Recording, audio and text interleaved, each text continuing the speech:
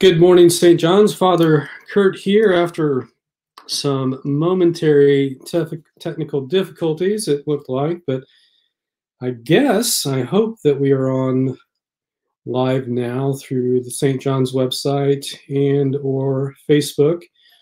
We'll certainly find out after this uh, production whether or not we're actually on the air. We may not be, but at any rate, today is March the 26th of 2020, which also happens to be the birthday of my seven year old now nephew, Hayes, who lives down in Alabama. So happy birthday, Hayes. Have a good time with your sister Bramley and your parents. Um, be good. I'm sure you're perfectly fine. Um, what have you done today, St. John's? I went out early this morning to go get some paper products. I stood in line at a grocery store, and uh, on the way in was behind two other people, and we were all frantically racing to that particular aisle where certain paper products were. Uh, this shows you how much of a theology nerd I am. Uh, I was reflecting during this whole experience of um, that first Easter morning when Mary Magdalene uh, went to the tomb and um, she didn't recognize the risen Christ right away. And the reason I think of that, I, I think of that passage a lot, but strange, strangely enough, I thought about it this morning because got to the aisle where I knew this particular paper product was or would be under normal circumstances. Went down the aisle with everybody else.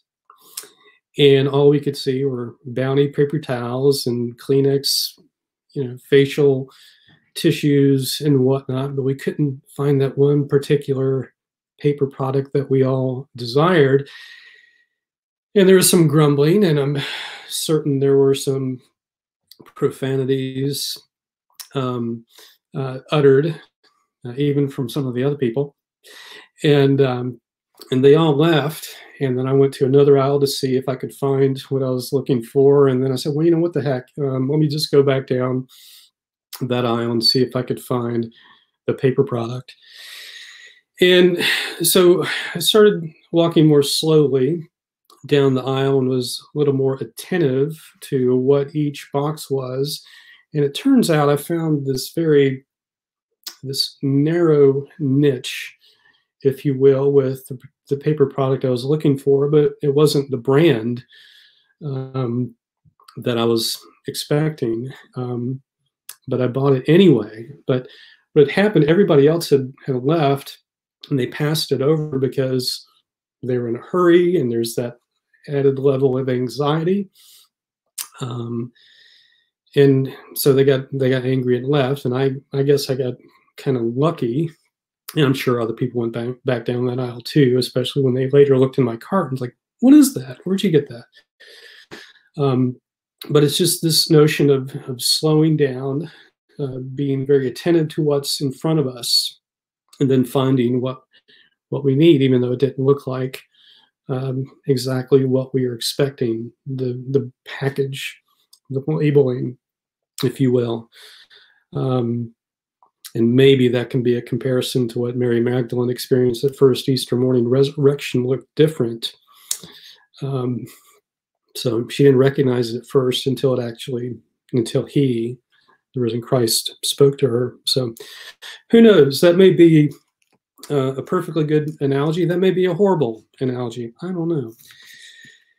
But now we'll pray an order of service for noonday, beginning on page 103 of the prayer book or you may download the bulletin from Facebook, this Facebook post, or uh, the website.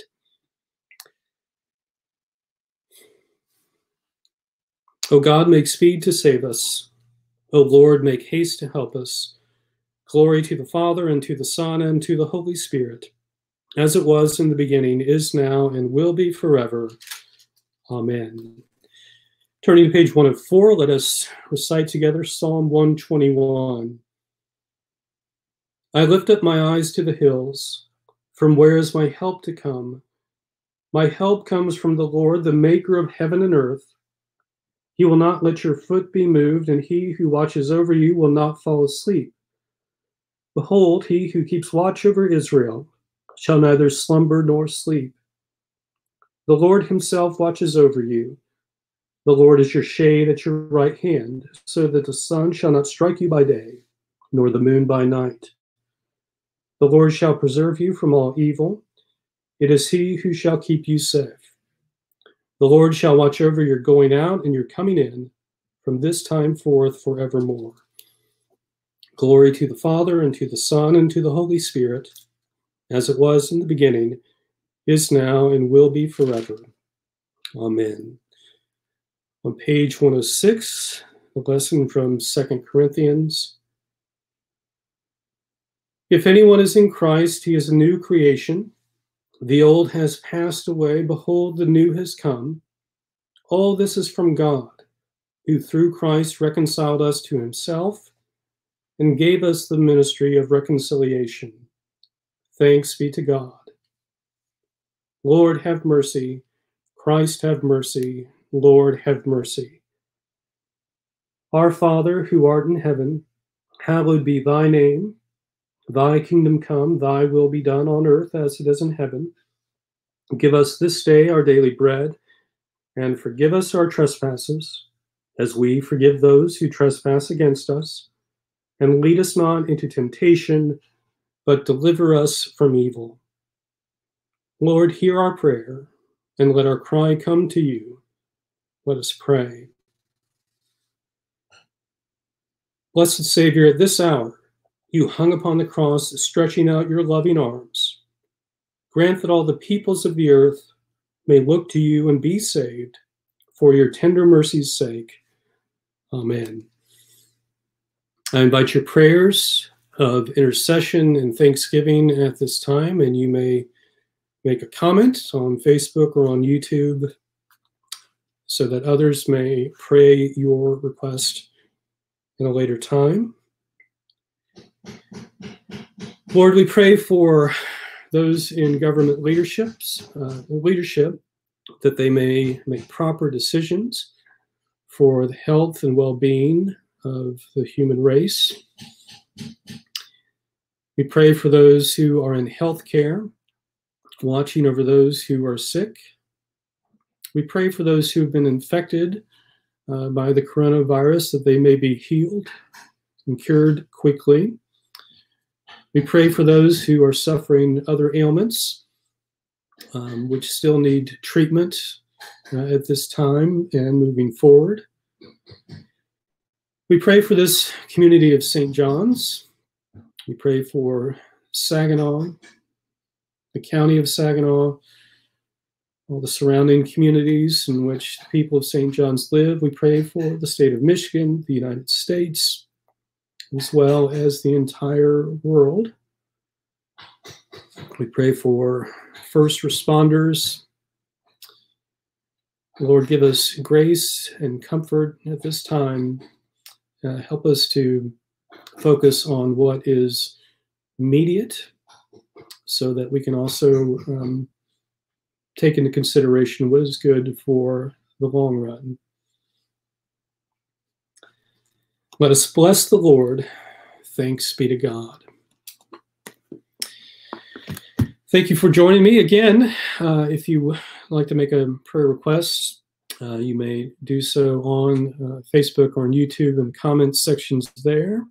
Um, uh, St. John's folks will see you tonight, hopefully, if you can, for a check-in. If you're not done, a, have you, if you've not done a check-in yet, um, at seven o'clock or 7:30. 7:30. I'll send out the email this afternoon. I also know that our Walk in Love group, which is hosted by Amy Simons, is meeting as well virtually.